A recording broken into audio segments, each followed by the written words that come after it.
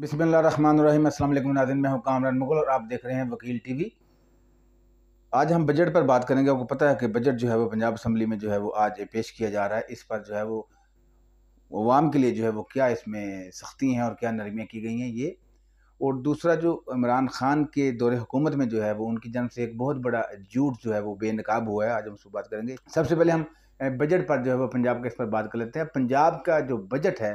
वो उसका हजम जो है वो तीन हज़ार दो सौ छत्तीस अरब रुपये जो है वो रखा गया है। आप जानते हैं कि इसमें जो है वो पंद्रह फ़ीसद जो है वो बढ़ाने की तनख्वाहें, मुतालबा जो है वो इसकी तजवीज़ दी गई है। इसके साथ साथ जो है वो कहा गया है कि मज़ीद टैक्सेस जो है वो वहाँ पर नहीं लगाए जाएँगे। ये एक चीज़ मैं आपको बताता चलूँ, नाजिन कि ये जो बजट होता है, ये एक ऐसा घोरक धंधा है। जैसे कि आप सियासतदानों की जो चालें हैं, जो आपस में पार्टी की जो बैकडोर पॉलिसीज़ हैं, जैसे कि पीटीआई और पीएमएलएन है, इनकी बैकडोर भी जो मामला है वो चलते रहते हैं। उसकी एक ज़िंदा मिसाल पंजाब असम्बली में भी देखने में सामने आई। ये जो,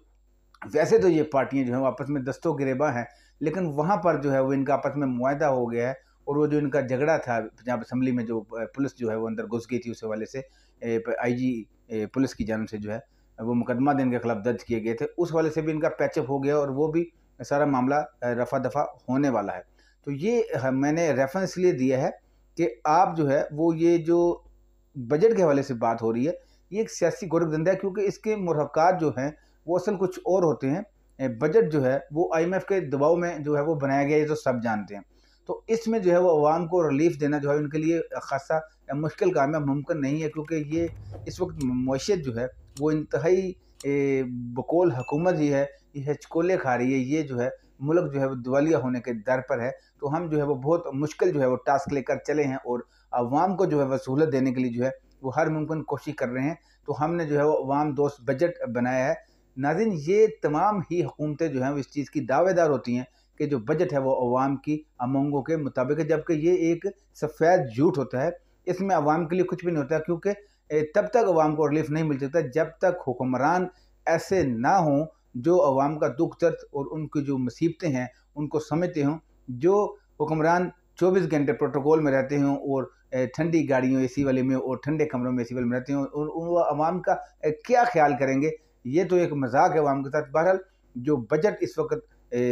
आ रहा है या पेश किया जा रहा है, उस हवाले से जो मैंने फिगर आपको बता दी है, ये सिर्फ़ एक सियासी, एक पैंतरा आप इसको कह ले, या एक आईएमएफ का बजट कह ले, इसमें अवाम के लिए जो है वो वक्ती तौर पर तो रिलीफ जो है वो आपको नज़र आ सकता है, लेकिन इसके पीछे पर्दा जो है वो ये याद रखें कि मज़ीद जो है वो महँगाई का तूफ़ान आएगा, आगे जुलाई में जाकर जो है वो मज़ीद चीज़ें महँगी होंगी। और एक इन्फॉर्मेशन आपको देता चलूँ कि जो पैंतीस से चालीस रुपये जो है वो यूनिट होने वाला है, इसके साथ साथ जो है पेट्रोल भी तीन सौ से तजावज़ कर देगा समथिंग तीन सौ चालीस के करीब करीब जाएगा, ये इससे ऊपर नीचे रहेगा, क्योंकि उसमें सौ रुपये जो है लेवी टैक्स भी जो है हुकूमत की तरफ़ से जो है वो लगाया जा रहा है और वो लगाने जा रही है, ये मेरे ज़राए का दावा है।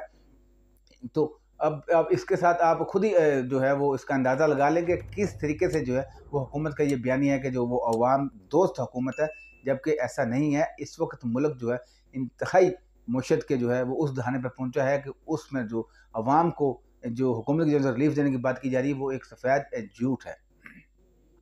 अब हम बात करते हैं जनाब, जो एक मैंने कहा, इमरान खान जो है चेयरमैन तरीके इंसाफ जो हैं, उनकी जन्म से जो है वो दौरे हुकूमत में जो एक शोरगुल बर्पा किया गया, जो उन्होंने धरना जो देने की कोशिश की जब इस्लामाबाद में आना था, उससे पहले भी जो उन्होंने तकरीर अपनी की, उसमें बताया कि जो रूस की जन्म से जनाब जो है, उन्हें जो है वो सस्ता पेट्रोल देने की ऑफ़र की गई। उनका आज जो भांडा है, वो रूस के सफ़ीर ने ही फोड़ दिया है, जो कि उनकी एक वीडियो भी आजकल चल रही है, आपने देखी होगी सोशल मीडिया पर। उसमें उन्होंने एक कहका बुलंद किया है, जैसे हमारा तमस्कर उड़ाया है पाकिस्तान का कह लें आप, या इमरान खान का कह लें, उसमें उन्होंने कहा कि हमारा तो आपस में बातचीत तो होती रहती है, ये कोई माहदा जब तक नहीं होगा, तब तक कैसे इस पर अमल दरामद होगा? यानी उनका कहने का मकसद था कि एक साफ़ी के जो सवाल के जवाब में उन्होंने ये कहका मारा और कहा कि ये तो एक ऐसा ही है जैसा कि आप कह लें कि जब एक दो हुक्मरान मिलते हैं तो वो बातचीत करते हैं, लेकिन उसको अमली जामा तब पहनाया जाता है, जब उसको बाकायदा तहरीर तौर पर उसका मुहदा जो कि नहीं है और ये खान साहब ने अवाम के साथ झूठ बोला है, सिर्फ़ अपनी सियासत चमकाने के लिए और मौजूदा जो हुकूमत है उसको कि वो इसमें इकतदार में ना आए। इसका कोई सर पर नहीं था, ये इसका हकीकत से भी कोई तल्लु था। आज रूस ने भी जो है वो इससे, उसके सफ़ीर ने जो है इसको अपने सहाफ़ी के सवाल के जवाब में जो है इसको डिनाई कर दिया है। नाजिन अब चलते हैं। तरीके लबैक पाकिस्तान कुछ दिनों से जो है वो कुछ सोशल मीडिया पर जो है वो कुछ एक आप कह लें कि गैंग जो है वो मुतहरक है जो इन दोनों को आपस में लड़ाने की जो साजिश कर रहा है वो एक सरगर्म अमल है। इसके पीछे महरकत क्या है कुछ ज़रा ये दावा कर रहे हैं कि ये जो पार्टी है ये अवाम में जो है वो इसकी मकबूलियत बढ़ती जा रही है तो इस तरीके लबैक पाकिस्तान जो है वो अब उभरती हुई जमात जो है वो दीगर पार्टियों के मद्देम कबल खड़े होने जा रही है तो उनको ये आपस में जो है वो लड़ाने के लिए जो है एक साजिश जो है वो बनी गई है। ज़रा का कहना है कि इसमें कुछ सियासी जमातों के भी जो है वो करता धरता शामिल हैं ताकि जो है वो आवाम को जो है वो इस तरफ़ महँगाई से मामला हटाकर जो है वो इस तरफ़ लगा दिया जाए और लोग इस बहस में पड़ जाएँ कि तरीके लबैक ठीक है। ये नाजिन इस चीज़ का आप याद रखिएगा कि जब भी कोई सियासी पार्टी जो है वो उभरती है तो उसके खिलाफ जो है वो साजिशें जो है वो इस तरीके से की जाती हैं कि वो उसको उठने से पहले ही जो है उसको ज़मीन बोझ कर दिया जाए। तो ये तरीके लब्बैक के ख़िलाफ़ इसमें लड़ाने के लिए जो है ये साजिशें की जा रही हैं, जबकि तरीके लब्बैक के जो ज़िम्मेदारान हैं या उनके कारकुनान हैं, वो भी सोशल मीडिया पर जो है इसका दिफा कर रहे हैं और लोगों को